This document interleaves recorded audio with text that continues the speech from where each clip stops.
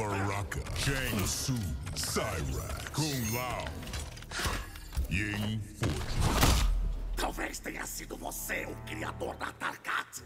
Ela existe há muito mais tempo do que eu. Ah!